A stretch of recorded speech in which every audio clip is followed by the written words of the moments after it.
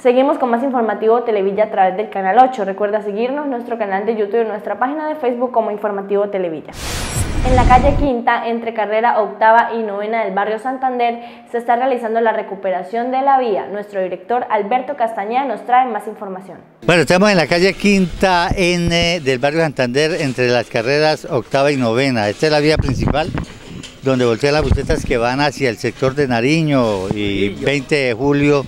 Y la verdad que la recuperación de esta vía ha sido en tiempo récord.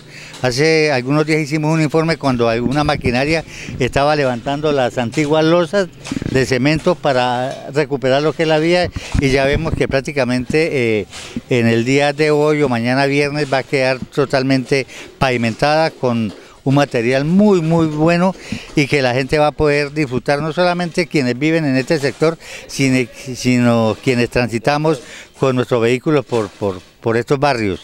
Eh, pedirle a la comunidad, espera a veces la gente porque ve que el cemento ya está gris, ya ha secado no hay que permitir que frague por lo menos unos días con el fin de que eh, tenga la dureza correspondiente y puedan transitar vehículos.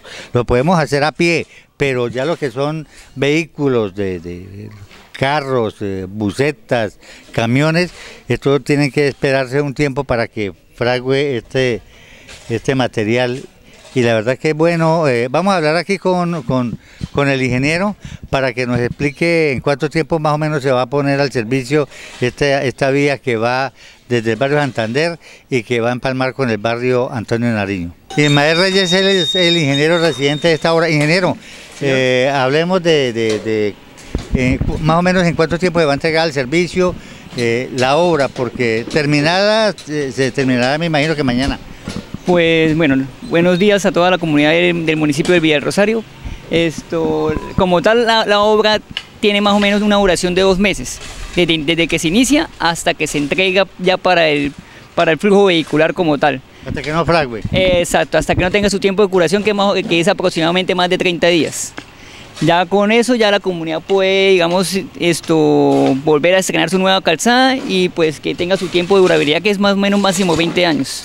Bueno, aquí los vehículos tienen eh, espacio por donde circular o, por la calle, se meterse por la calle cuarta N o por la calle sexta N para coger la vía Nariño. Esta, exacto, esta es la quinta N y pues ellos tienen su flujo desviado hacia la quinta N, hacia la sexta N y hacia la cuarta N para poder seguir su rumbo hacia la zona céntrica del, municipio de Villa Rosario.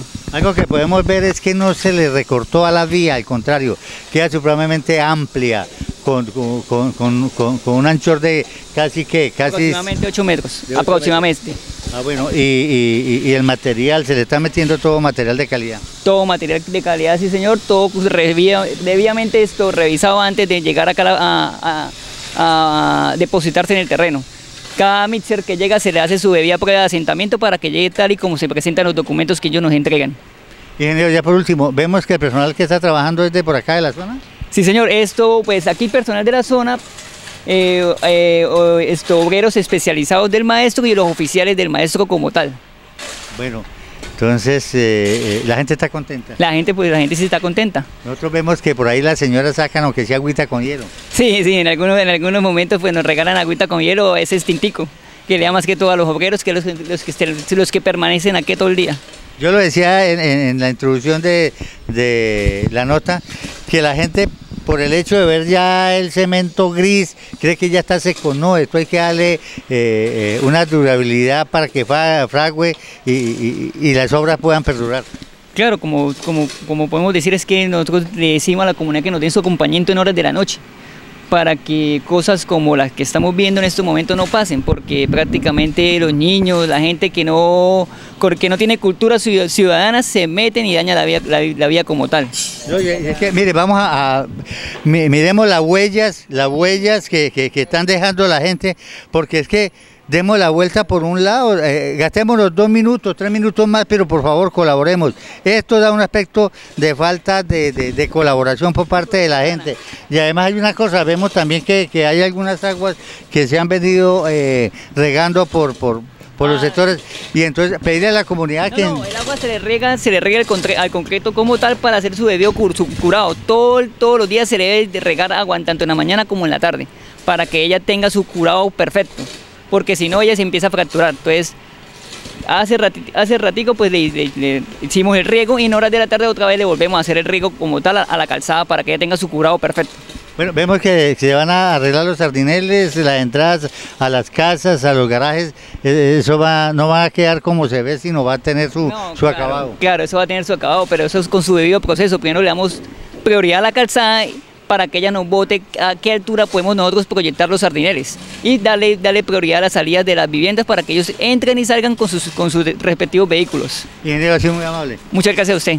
Bueno, la verdad es que hemos querido llevar este, esta información a todos nuestros televidentes con el fin de mostrar lo que se está haciendo en Villa Rosario. Cuando se hacen las cosas bien, es nuestra obligación como medios de comunicación difundirlas. Y, esta es una de las buenas obras que van a beneficiar no solamente a la gente de este sector, sino a todos los que tenemos que transitar con nuestros vehículos hacia el sector de Nariño, hasta luego ingeniero, hacia el Nariño, 20 de julio, La Esperanza.